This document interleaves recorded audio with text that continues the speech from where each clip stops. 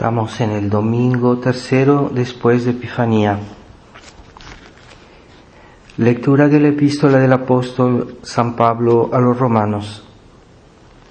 Hermanos, no os jactéis de prudentes, a nadie devolváis mal por mal.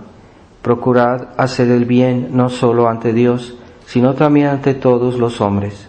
Si es posible, y en cuanto esté de vuestra parte, vivid en paz con todos los hombres. No os venguéis, queridos, mas dejad a Dios el castigo, porque escrito está, remitidme a mí la venganza, yo haré justicia, dice el Señor. Antes, si tu enemigo tiene hambre, dale de comer, si tiene sed, dale de beber, porque esto haciendo amontonarás brasas sobre su cabeza. No te dejes vencer del mal, sino vence al mal con la abundancia del bien.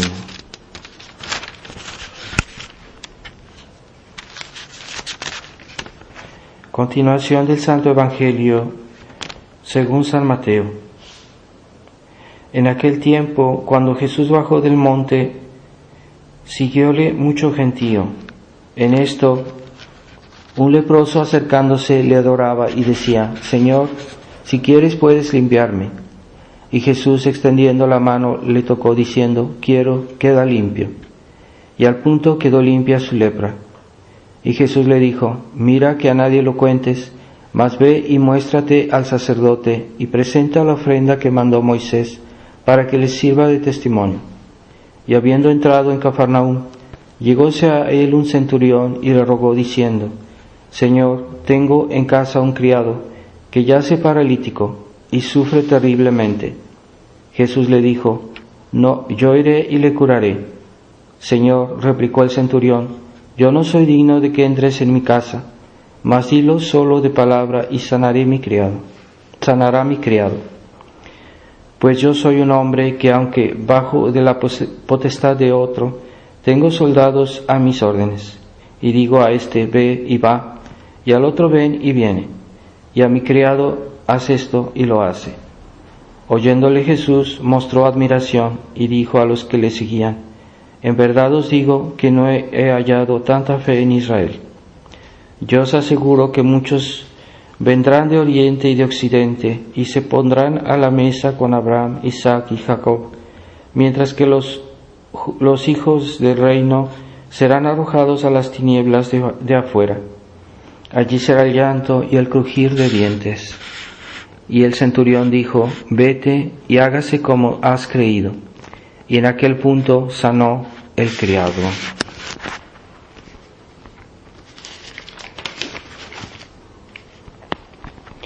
En el nombre del Padre, del Hijo y del Espíritu Santo.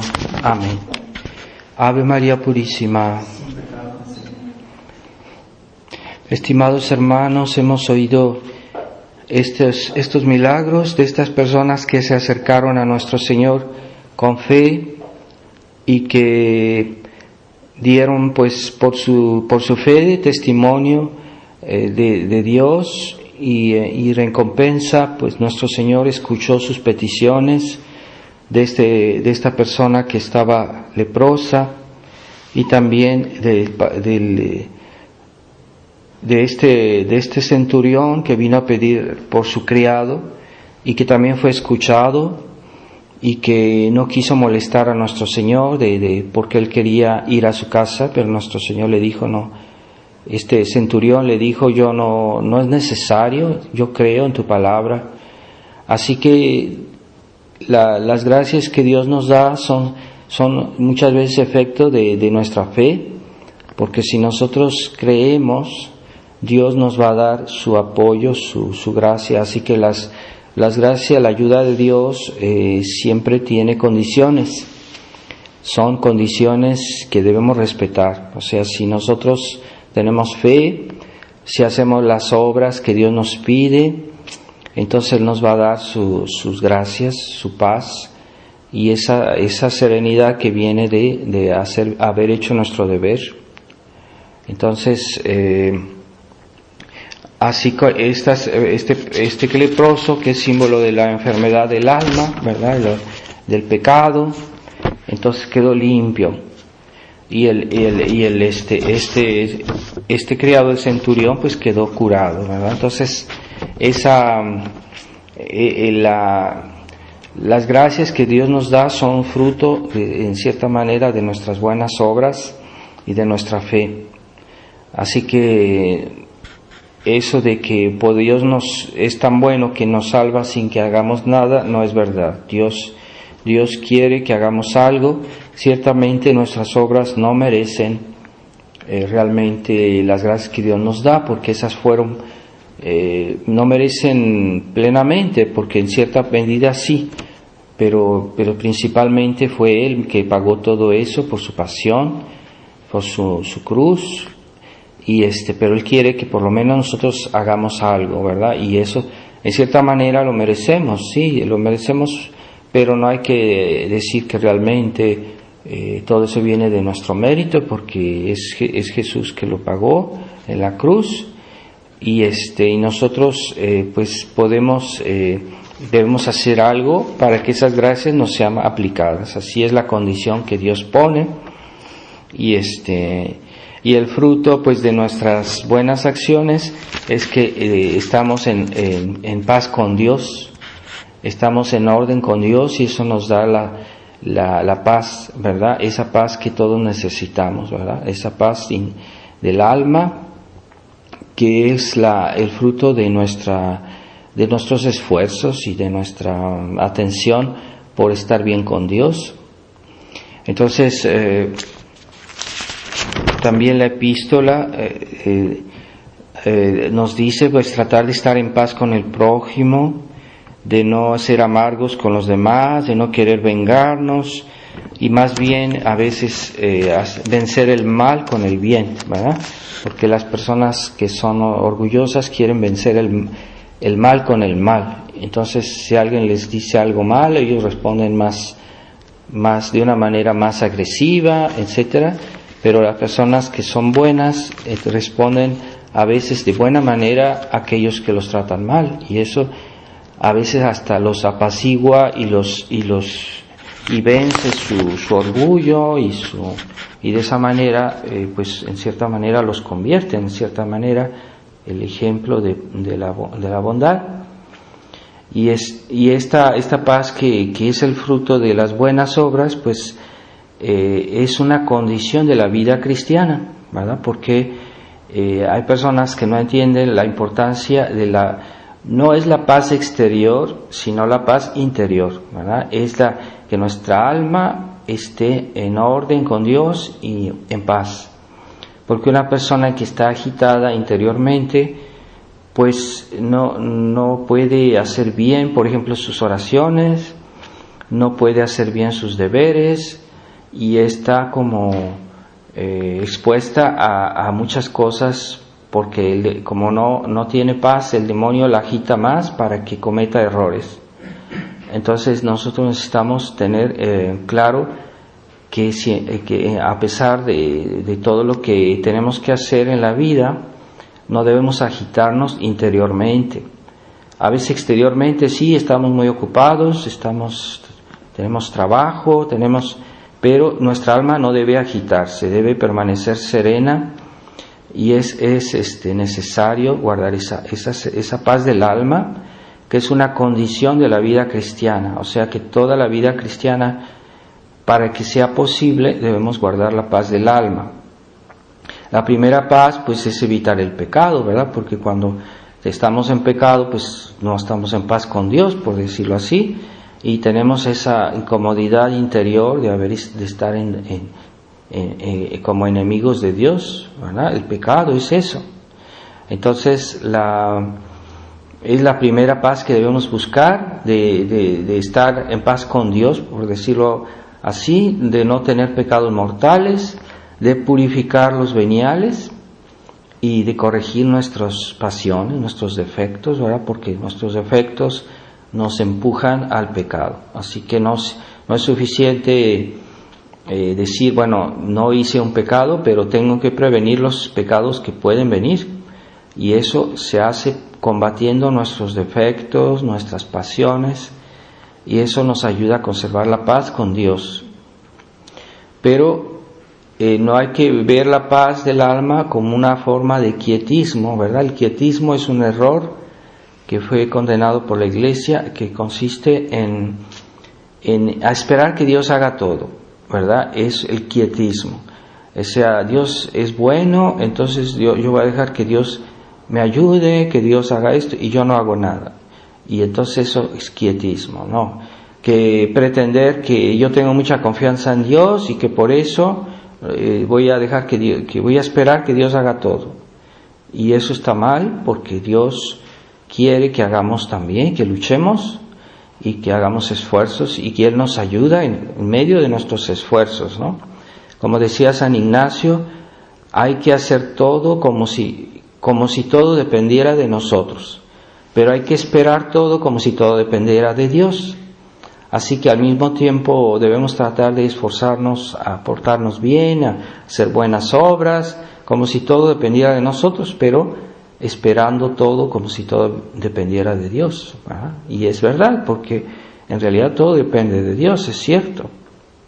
Pero nosotros debemos también luchar. Y tampoco eh, la paz del alma es la pereza, ¿verdad? La, la pereza, las personas inactivas, que dicen no me molesten, yo quiero estar en paz, y este, porque no quieren hacer esfuerzos, ¿verdad? No quieren luchar. Y esa pereza que, que pues a veces eh, es, la paz eh, que uno no tiene, la paz exterior, ¿verdad? Por ejemplo, uno tiene que a luchar, tiene que esforzarse, tiene que ir a, hacer sus deberes, y exteriormente no tiene tal vez mucha paz, pero interiormente la puede conservar a pesar de sus actividades. Es lo que es difícil, pero es lo que hay que, lo que debemos tender a lograr. Y después está la ausencia de sufrimiento. Hay personas que creen que la paz es nunca sufrir y este y nunca hacer esfuerzos. Pero no, la paz es que no es eso. La paz interior, eh, por ejemplo, nuestro Señor, cuando uno ve su cara en la sábana santa, se ve que es, es el varón de dolores, sufrió muchísimo, y, pero tenía paz. Se ve una gran paz en su, en su cara, una serenidad, aún que ha sufrido mucho. Así que cuando nosotros sufrimos, no debemos agitarnos, no debemos ponernos a quejarnos y a veces hay que, hay que llevar la cruz con, con serenidad. Porque si una persona sufre y además se agita y pierde la paz interior, pues entonces puede desesperarse, puede eh, blasfemar, puede decir cosas que después se arrepiente. Entonces, no, aun si sufrimos debemos permanecer en paz interiormente, interiormente.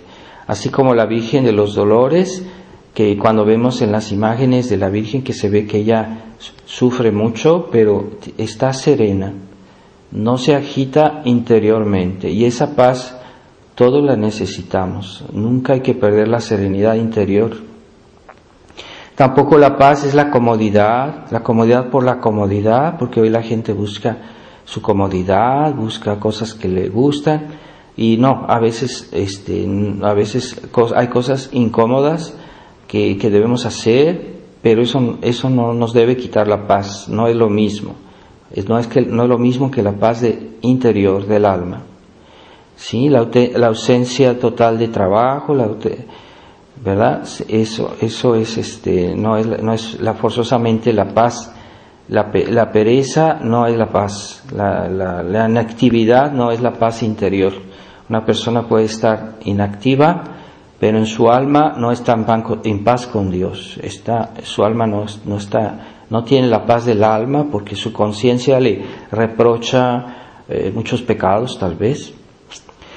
Pero la verdadera paz interior es justamente interior y, este, y, consiste en una paz eh, más espiritual, por ejemplo, la ausencia de pasiones malas, la ausencia, porque todas las pasiones nos agitan y nos hacen cometer errores, ¿verdad? Por ejemplo, la, la, la, gula este, nos hace cometer pecados, eh, la, la, ira, ¿verdad? Es fácil que cometamos pecados, entonces hay que pacificar nuestra alma de las pasiones malas, el orgullo, la envidia, todo eso nos, nos agita interiormente y nos hace cometer errores, es decir, pecados.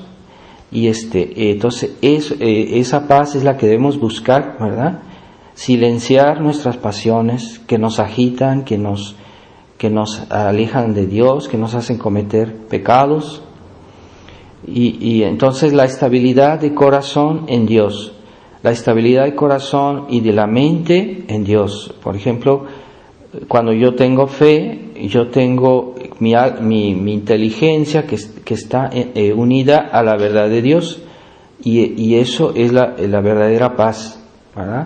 Cuando yo estoy unido a Dios por la caridad, por el amor, por la oración, en la oración, eso me procura la paz interior y yo estoy sereno.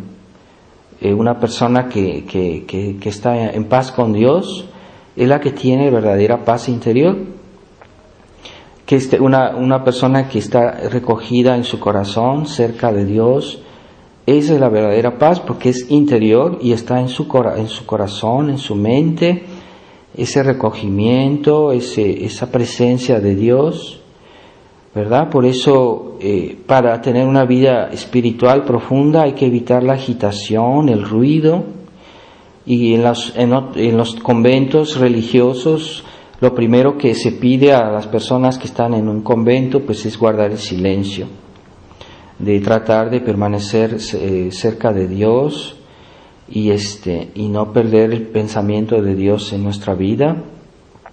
Pero esa unión con Dios se hace principalmente por la, por la, por la fe, por la oración y que, nunca hay que perder de vista, ¿verdad? Aun si tenemos problemas, aun si tenemos este, sufrimientos. Entonces los autores espirituales dicen que siempre la, primera cosa que debemos conservar es la paz interior, a pesar de, todo lo que nos pueda pasar. No debemos agitarnos interiormente porque hay personas, por ejemplo, les duele una muela y empiezan a quejarse y a, agitarse interiormente y no pueden soportar ese sufrimiento y que no están acostumbrados a tener paciencia. Y esa agitación interior es muy mala porque nos hace perder la lucidez interior y nos hace incapaz de, incapaces de hacer el bien y de conservarnos estables en Dios. Y es muy peligroso perder la paz porque hay personas que hasta se desesperan y esas personas que pierden la, paz interior se desesperan, hasta se suicidan eh, porque no saben tener paciencia. Entonces, si uno tiene paciencia, no pierde la lucidez y no comete errores porque hace las cosas bien, a pesar de que sufre, a pesar de que tiene preocupaciones, a pesar de que tiene una enfermedad, no pierde la, lucidez de su inteligencia y no comete errores. Así que la Virgen María cuando vio que crucificaron a su hijo, no se puso a gritar, no se puso a, hacer cosas raras, no, ella permaneció serena, pero es dolorosa. ¿eh? La Virgen, la Madre, dolorosa. Es, es un dolor tan grande que no podemos eh, comprenderlo pero este, no perdió la paz, no perdió la paz. Ese es el ejemplo que debemos seguir. En nuestra época, vivimos una época de agitación, donde todo es ruido, donde todo es movimiento y que hay mil cosas que hacer. Esa es la, la vida moderna.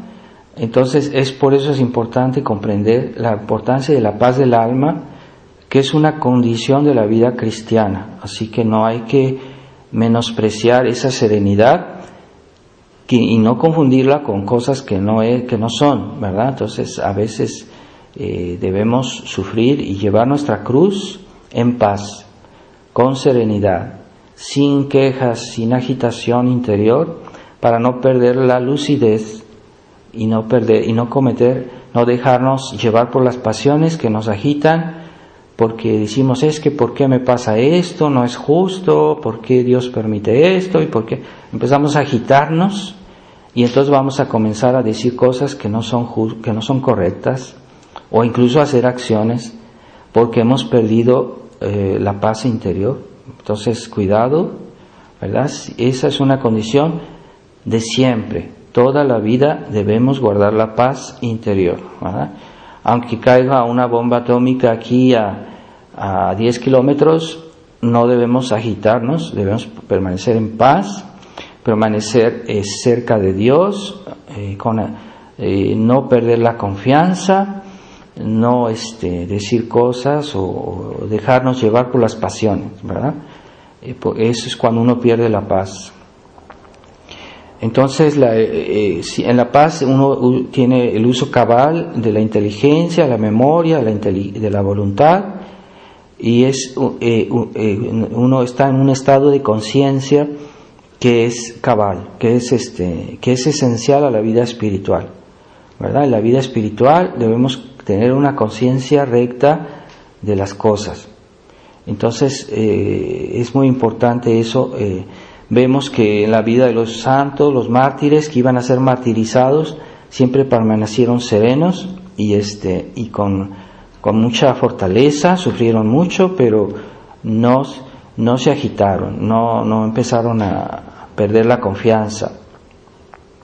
Entonces, la, la, estabilidad de las virtudes teologales en nuestra alma, fe, esperanza y caridad, son las que nos unen a Dios eh, más directamente. Entonces, esas virtudes eh, deben estar estables, ¿no? Si yo empiezo a perder la, fe, porque perdí la paz, o empiezo a perder la confianza, la, esperanza, porque también perdí la paz, o incluso puedo perder la caridad, el amor a Dios, porque hay personas que dicen, no, es que Dios no me quiere, es que Dios me ha abandonado, entonces me pasan cosas y entonces pierde la paz y pierde el amor a Dios.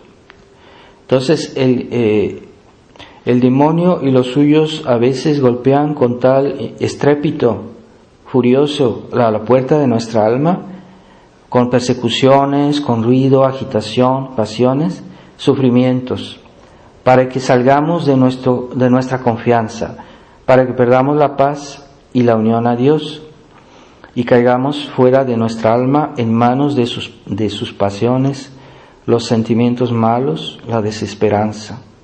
Así que aun si el demonio eh, golpea, por decirlo así, a la puerta de nuestra alma y, Él sabe cómo hacer eso, ¿verdad? Eso se llaman persecuciones. Se llama, hay gente mala que a veces ve que una persona ama a Dios y la molesta, la molesta, la persigue, le crea problemas. Entonces, si esa persona se, se impacienta o hace, comete errores, entonces el demonio ya logró su objetivo, que hacerle perder la paz. Así que nunca perdamos la serenidad cuando tenemos, estamos en presencia de personas que se portan mal eh, o que nos persiguen. Entonces hay que guardar la serenidad. Eh, repito, Jesús, el varón de dolores, ¿verdad? Varón de dolores, en toda su pasión, si leemos en el Evangelio, siempre guardó la serenidad, nunca dijo cosas exageradas nunca perdió la serenidad y, este, espiritual. Entonces, eh, el demonio se sirve a veces de personas para inquietarnos, de las malas personas o de la gente que es un poco, puede ser orgullosa y que nos molesta porque no le gusta que amemos a Dios o que nos portemos bien. Entonces eso les molesta, sobre todo si tienen mala conciencia ellos de su vida. Pueden tratar de inquietarnos y para ellos es una victoria, ¿verdad? Que una persona buena pierde la paz. Ellos lo ven como una victoria, decir, no, es que ya logré que se impacientaran. Entonces, eh, también la paz nos ayuda a discernir lo que pasa en nuestra alma, ¿verdad? Porque a veces hay pensamientos que nos vienen y no sabemos si vienen bien de Dios o vienen del demonio. Entonces debemos discernir si ese pensamiento que me vino es bueno o es malo. Entonces, si yo estoy eh, agitado, si no tengo paz, no voy a discernir si viene de Dios o del demonio. no voy a tener la, lucidez para, para, ver las cosas.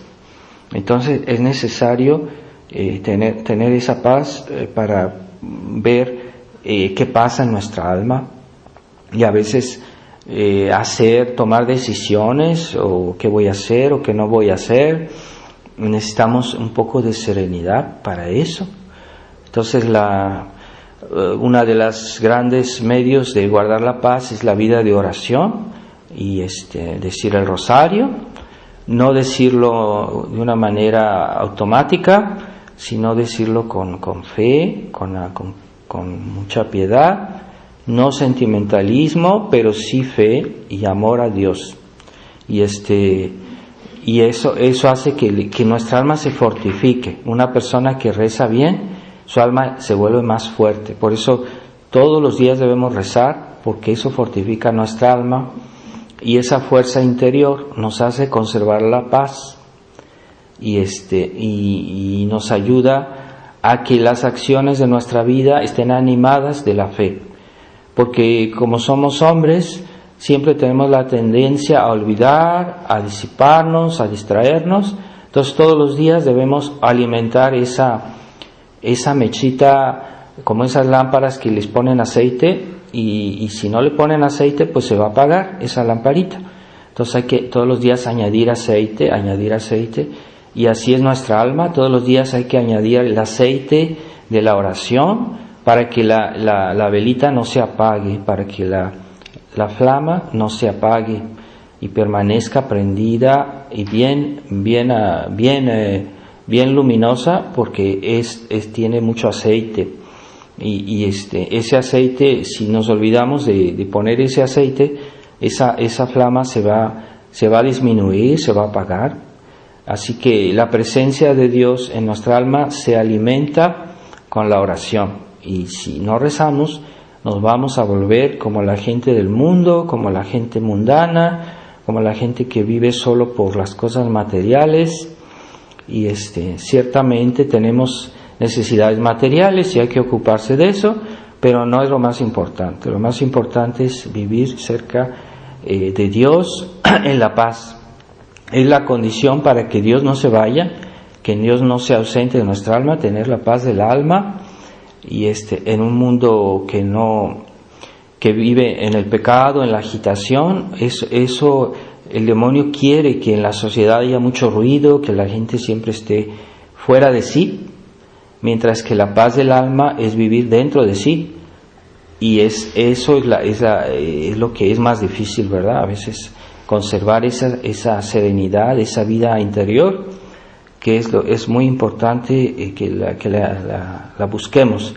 Aun si pues hay personas que tienen muchas actividades por, por su deber de Estado, por, su, por necesidad, tienen que trabajar, pero no hagan las cosas con agitación, eh, guardando la, la paz interior, sin agitarse interiormente y no desesperar, porque a veces la vida es difícil y uno dice, ya, ya, ya esto es suficiente, ya no puedo más, etcétera, y pierden la paz. Entonces comienzan a cometer errores o pecados y, les y pierden la presencia de Dios en su alma, que es la, la primera paz que debemos tener. Lo que nos da más paz es saber que Dios está en nuestra alma por la gracia y por las virtudes teologales, fe, esperanza y caridad. Y ya las más virtudes están al servicio de las virtudes teologales. ¿eh? Las, virtudes, las otras virtudes que nos hacen ocuparnos de las cosas terrenas son buenas, por ejemplo, como la prudencia, la justicia, la fortaleza, pero eh, se alimentan de las virtudes teologales. Entonces, las virtudes cardinales están al servicio de la fe, la esperanza y la caridad. Así que no olvidemos esto, si no vamos a perder la paz y vamos a perder la fuerza del alma que es Dios, pero Dios se hace presente por las personas que rezan, las personas que comulgan, que reciben los sacramentos. Dios se hace presente en su alma y por eso eh, una persona que ha, que ha recibido esos dones es como una persona que trae un vaso de agua que está casi lleno y, camina con cuidado para que no se desparrame esa agua en el piso. Así una persona que ha recibido gracias que, ah, por ejemplo, cuando, cuando dices bien su rosario, cuando ha comulgado, cuando ha ido a misa, debe eh, no desparramar esas gracias que ha recibido por la disipación, por la agitación, por la falta de atención. Y y la falta de conciencia, la presencia de Dios en nuestra alma. Después nos olvidamos de que acabamos, acabamos de recibir esas gracias y ya al ratito ya estamos eh, hablando, diciendo tonterías y ya perdemos el fruto de esas oraciones, perdemos el fruto de, esa, de esas gracias que Dios nos ha dado, las desparramamos porque nos disipamos. La disipación eh, del alma pues es perder la paz, perder la unión con Dios y eso es muy malo. Así que eh, tratemos de vivir toda nuestra vida así como con un vaso de agua lleno, caminamos con cuidado, pero es una actitud interior, no es una actitud también un poco exterior, ¿verdad? Porque necesitamos también tener una cierta serenidad exterior, si es posible, evitar mucho el ruido, la agitación, si es posible, pero si no es posible, de todos modos, interiormente guardar esa paz y no perder el fruto de las gracias de Dios y la presencia de Dios, mantenerla en nuestra vida y progresar, no solo decir, ah, es que hoy recé, pero no, cada día debería ser mejor, cada día deberíamos tener más esa presencia de Dios y entonces estamos progresando, estamos mejorándonos. Así que vamos a pedirle a la Virgen María en esta misa, eh, le pidamos a Nuestra Señora que es el modelo de la paz del alma y, de hecho pues todas las personas que que han tenido, por ejemplo, los niños que, a los cuales se les apareció la Virgen María, pues eran niños que, que, eran este, ejemplos de serenidad, de, paciencia, de bondad, porque eh, vieron a la Virgen María y les quedó impresa en su alma esa paz que ella tiene y que nos puede comunicar si, si se lo pedimos en, nuestras, en nuestro Santo Rosario. Ave María Purísima. En nombre del Padre, del Hijo y del Espíritu Santo. Amén.